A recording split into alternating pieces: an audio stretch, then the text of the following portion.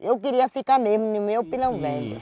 Em 1875. Mamãe, quando eu nasci, dava aula de violão. Há um ano eu não tenho certeza, né? A gente fala que o Dermacamp é onde a criança pode ser apenas criança, pode esquecer do problema dela. As atividades que a gente faz são atividades de brincadeira, atividades lúdicas e sempre voltadas à autoestima, autoconhecimento e aprender a lidar com as diversidades. Começamos a pesquisar, a trabalhar com as famílias e vimos que somente o o, não o cuidado, mas o carinho, o abraço, o acolhimento que essas crianças recebem faz com que elas mudem o seu enfoque com a vida. O cuidado é ainda maior porque, assim, os pais foram acostumados a ouvir é, uma frase terrível em medicina, que é isso não tem cura. Quando alguém ouve essa palavra, isso não tem cura, automaticamente fala, então por que, que eu vou fazer? Para que, que eu estou aqui? Tá? Então a gente evita falar, isso não tem cura. A dermatite atópica é uma coisa que é uma doença extremamente comum, né? uma porcentagem grande, 25% das pessoas pode ter essa doença e que há um tempo atrás, há um tempo atrás que eu falo, é alguns anos atrás, não existia nada que conseguisse melhorar. Hoje o avanço da medicina é tão rápido que a gente pode dizer que criança ou adulto com dermatite atópica pode ficar sem nenhuma lesão. Ultimamente estão saindo novas pesquisas que vão estão mudando a vida da pessoa com dermatite atópica. Quem sabe daqui a um tempo a gente possa refazer uma entrevista dessa e falar, olha gente, dermatite atópica já tem cura.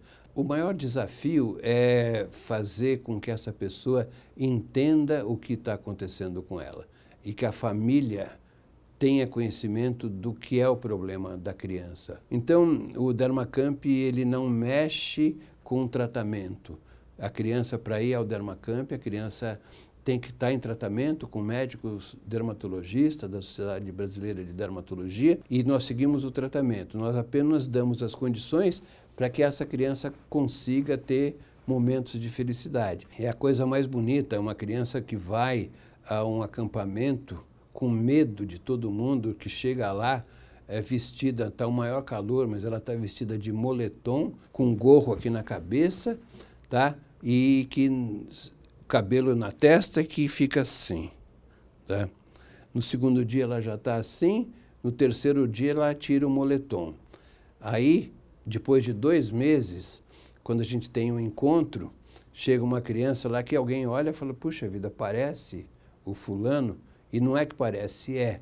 A criança chega de, a menina chega de, de blusinha regata e bermuda, toda, todo mundo fala, toda emperebada, toda cheia de lesão, mas não está nem aí. Ela aprendeu que, que ela não é a dermatite, né? que ela é a fulana de tal, que eventualmente tem a dermatite, assim como outros têm outras coisas, que pode ser piores, que ninguém está enxergando. Tá? A recompensa que a gente tem é enorme. Uh, a gente tem crianças que já são formadas, crianças que não estudavam, mas a gente já tem crianças que estão em faculdade de direito, em administração. Uh, nós temos uma criança que não saía de casa, hoje a Vini é campeã brasileira de karatê. Imagina, uma criança com uma doença altamente desfigurante, campeã brasileira de karatê. Tá? O Márcio, que tinha uma dermatite severíssima, hoje ele está controlado e, e trabalha uh, na área de informática. Então, é um trabalho que vale a pena, valeu muito a pena. E cada vez mais.